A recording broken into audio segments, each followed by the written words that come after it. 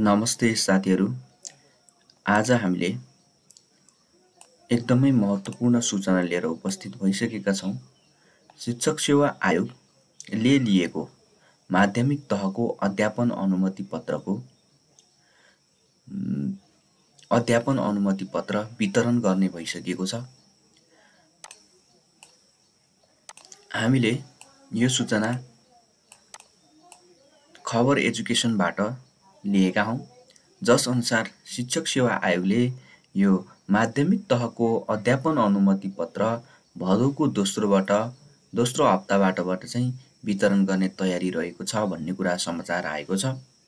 र अब लाइसेन्स लिने प्रक्रिया चाहिँ कस्तो रहेको छ भन्दाखेरि लाइसेन्सको परीक्षा दिएको जिल्ला स्थित हामीले जुन ठाउँमा लाइसेन्सको परीक्षा दिएको त्यस जिल्ला स्थित शिक्षा विकास तथा समन्वय एकाइबाट वितरण हुनेछ भनेर एउटा सूचना आएको छ।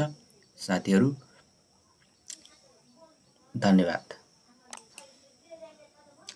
यी र यस्तै महत्त्वपूर्ण सूचनाको सूचनाको लागि हाम्रो युट्युब च्यानलमा जोइन गर्दै गर्नुहोला। यदि तपाईँहरू च्यानलमा नयाँ हुनुहुन्छ भने सब्सक्राइब गर्न नभुल्नुहोला र नजिकै रहेको बेल आइकन पनि दबाउनु होला है त।